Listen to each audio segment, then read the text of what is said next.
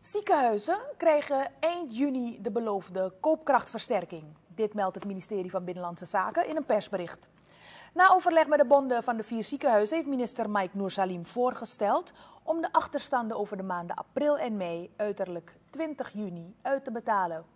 Hierbij gaat het om een bedrag van 750 SRD. De koopkrachtversterking over de maand juni zal eind juni gelijktijdig met het salaris worden uitbetaald.